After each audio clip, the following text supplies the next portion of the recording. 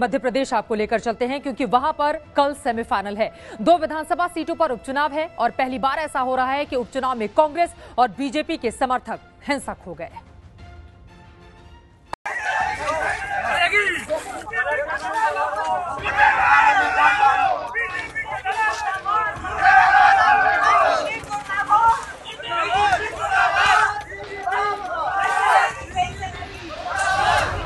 रात के अंधेरे में जिंदाबाद और मुर्दाबाद के नारों के बीच हंगामे की ये तस्वीरें उस कोलारस विधानसभा सीट की है, जहाँ कल वोटिंग होनी है।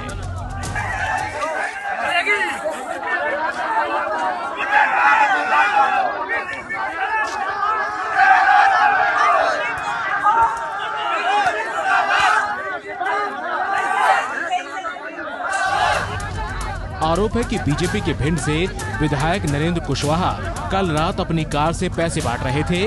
कांग्रेस के उम्मीदवार महेंद्र सिंह यादव ने शिकायत की, जिसके बाद पुलिस पहुँची और हंगामा होने लगा।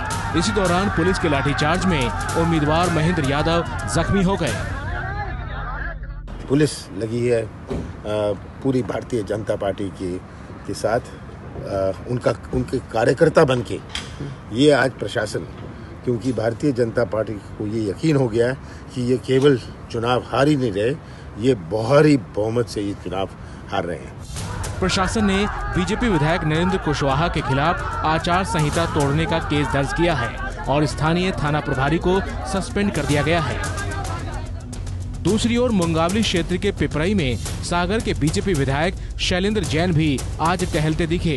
कायदे से बाहरी लोगों का प्रचार खत्म होते ही चुनावी क्षेत्र छोड़ देना होता है, लेकिन विधायक जी घूमते रहे। बाद में पुलिस ने हिरासत में लेकर क्षेत्र से बाहर जाकर छोड़ा। इस मुद्दे को लेकर बीजेपी और कांग्रेस आमने सामने है। शैलेन जी के रिश्तेदार क्या वो गए थे? शैलेन जी ने भी कहा है, और कल नरेंद्र सिंह कुशवाहा जी तो वहाँ से निकल रहे थे। उसके बाद जो कांग्रेस ने गुंडागर्दी वहाँ पर की है, उनकी गाड़ी को तोड़ा गया, उनके पूरे सामान को फेंक दिया गया, और वहाँ भी नहीं, उसके आगे जाके जो स्कॉर्पियो नंबर भी दिया हुआ है, कोलारस में जाके उनके साथ फिर मारपीट की गई।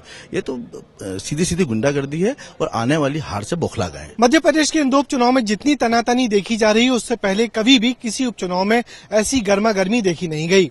वजह साफ़ है। बीजेपी उपचुनाव में लगातार मिल रही हार की श्रृंखला तोड़ना चाहती है तो कांग्रेस इस श्रृंखला को बरकरार रखकर आने वाले विधानसभा चुनाव में उतरना चाहती है। अब देखना यह है, मतदाता शनिवार को किसके पक्ष में वोट करता है। Brajesh Rajput ABP news Bhopal.